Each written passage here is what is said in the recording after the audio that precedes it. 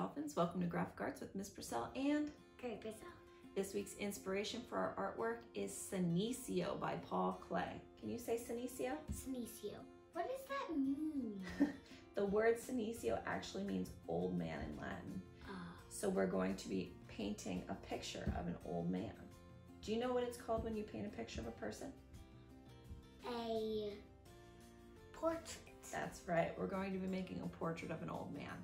But this portrait is going to be made with shapes, lines, and colors only. It's not going to look realistic. It's going to look abstract. Can you tell us what we need this week? We need paper, a pencil,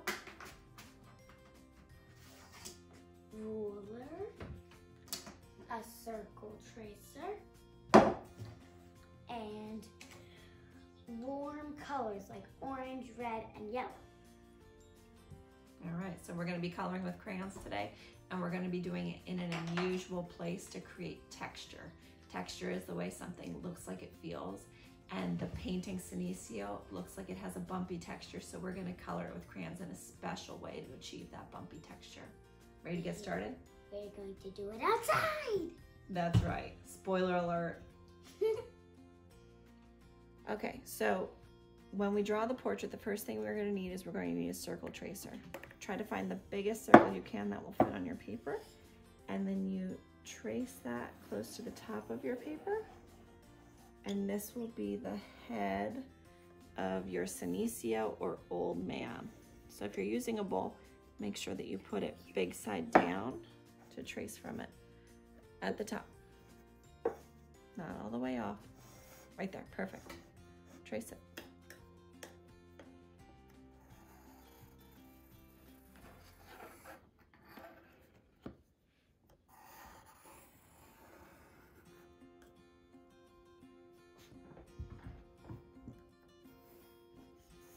The next thing we're going to do is we're going to draw the neck, the shoulders, and the face of our old man. You can use a ruler if you have it. If you don't, you can just find a straight edge. I'm gonna use the side of this book. So first thing we're gonna do is we're going to draw a line at the bottom across, but we're not going all the way to the edge. We're gonna stop a little bit short. Do you see how my line doesn't go all the way to the edge of the paper? I leave a little bit of area. Ooh, These I are the know what we're shoulders. Yep, so draw a line. You need room for the neck. Leave space. Good. Now we're gonna do shoulders. So right here at the end of this, I'm gonna draw a curved line down.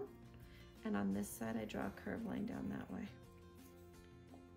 Excellent. Next, I'm going to draw two vertical lines from the neck to the shoulders. I mean, from the head to the shoulders to create a neck. Use your ruler. Next step is we're going to draw a line straight down the middle of the face. So put your ruler right in the center. I'm gonna put my straight edge right in the center, just in the face. All right, then you're going to draw one straight line across the bottom where the mouth would be. So put your ruler at the bottom. And draw a straight line across where the mouth would be. Yep. Awesome. So to make his mouth, you're going to draw a little L shape here. And then like a number seven on the top to have two rectangles on the top up here. Good. Can erase this. So now we're going to make the eyeballs. The eyeballs are a little bit tricky. You're gonna start over here. Watch me first. You're gonna make a stretched out S. So you're gonna come over and under. See how it transitions right in the middle? Good, and then go up. Okay, Gray was having some difficulty making this S line. So what I did is I drew a dot here and a dot here, and I told her to draw a rainbow line. And then I drew a dot here and a dot here and told her to do a U. So now we're gonna go back from here to here, rainbow. Stop at the line in the center. and then from here to here, U. Okay, and on the actual, I'm gonna make that uh, more rounded. On the actual Senecio, his eyes are not straight across from one another. That's why we did it the way that we did it. Okay, next up, we're gonna draw two circles inside his eyes. Great. We're gonna draw one curved eyebrow there. Just one.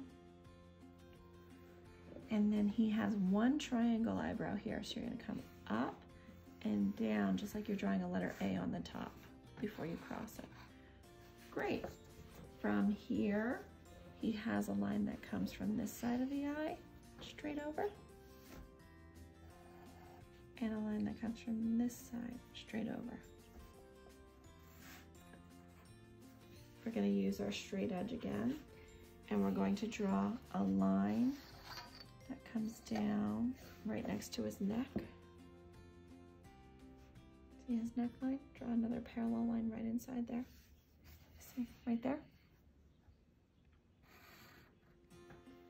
And then I'm going to draw a line that crosses it and comes into this a little bit. Yep, so draw it like right there. And then one more that comes down right there. So then I have two rectangles. So right here, down to there. Okay, now down here, we're going to draw a scoop line. So it looks like a letter U. So we're gonna start outside the neck and scoop it a stretched out U. Great. And like his use, shirt. It is his shirt. So we're gonna use the straight edge here on the side of this scoop to come down. Straight down. Over Arm here. is right there. Mm -hmm. We're gonna go on the side of this scoop and go straight down.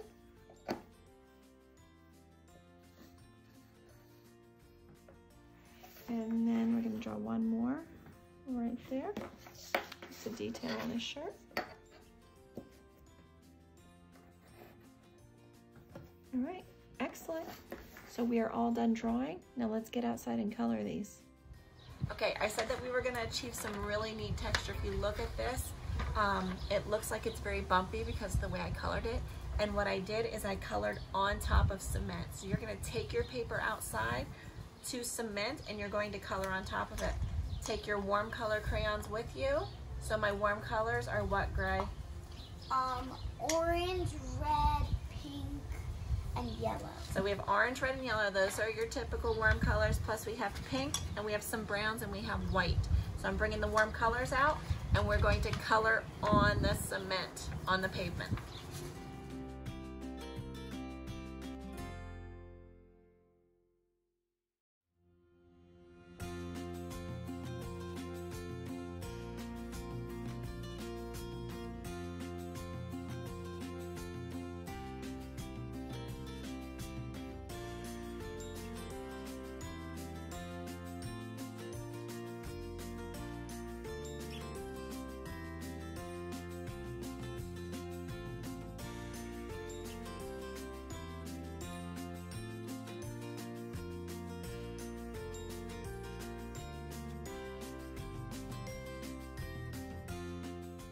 Are you ready for the big reveal?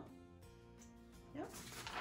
Ta-da! So as you can see, Gray chose, hold yours up. Gray chose different colors than I did, but we both chose what kinds of colors? Um, warm color. That's right, we used a warm color palette. And we colored outside on top of the pavement to give it interesting texture. So we wanted it to look like it was bumpy. And what three elements of art did we used to create this work of art? Shape, lines, and color. That's right, we use shape, line, and color. And this type of art that Paul Klee made, this is called cubism because it's a lot of shapes together to make an abstract work of art. And again, we said Senecio is a portrait. What does portrait mean? It means a picture of someone. A picture of someone, a picture of a person. Excellent. So we hope you had fun creating with us. Until next time. Bye.